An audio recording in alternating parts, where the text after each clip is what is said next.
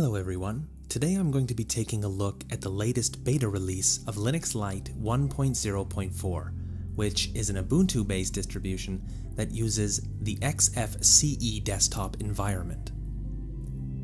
So Linux Lite is designed to be a very lightweight distribution that is not only great for people who have older hardware, but also for people who want to maximize the performance of the applications that they're running. If you take a look at the Linux distro community's website, you'll find the minimum system requirements, and you'll find that they're really quite reasonable. After a fresh install, the system boots to about 140 to 160 megabytes of RAM. It's also probably important for me to point out that Linux Lite requires a CPU that supports PAE, or Physical Address Extension. This is a feature that allows a 32-bit processor to access more than 4 gigabytes of RAM. To check if your processor is PAE enabled, open the terminal and type the following.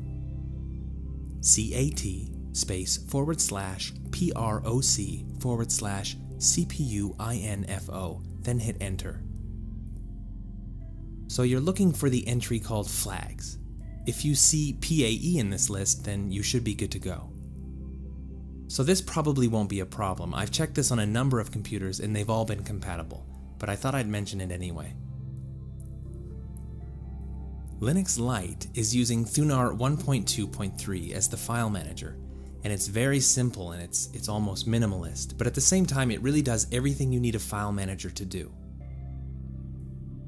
Another thing that you might notice right away is the new look of this version. This time around you can tell they've put a bit of effort into making Linux Lite a bit more attractive.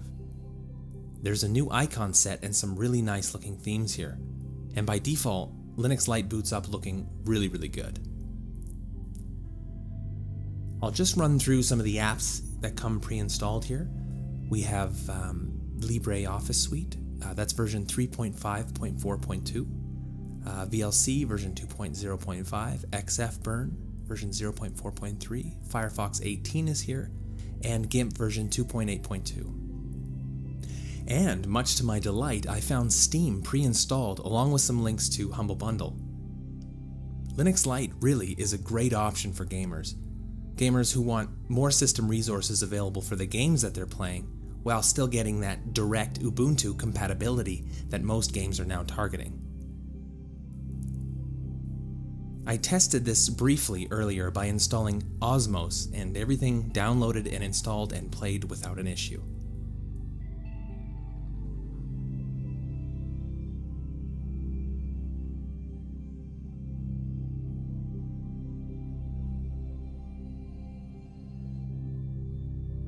I'll just quickly glance at some of the other menu entries here um, if you want to pause and have a look. Notice the option to install updates directly in the menu here. I think this simple descriptive approach is great and it's a concept that they really stick with. The way they have designed their menu with descriptive titles rather than the actual random project names is going to be way more user friendly to those who, who may be new to Linux. Another example of this is here under Install Additional Software. They have options for easily installing packages depending on your needs.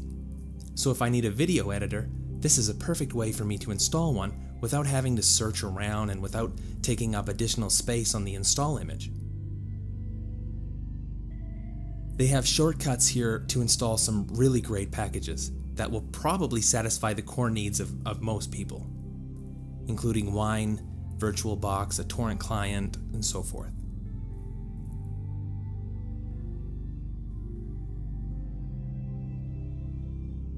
So while I'm waiting for OpenShot to install here, I'll quickly mention that the panels here support adding applets.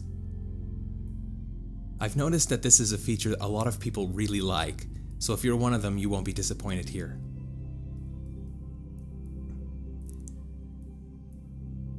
So that is Linux Lite.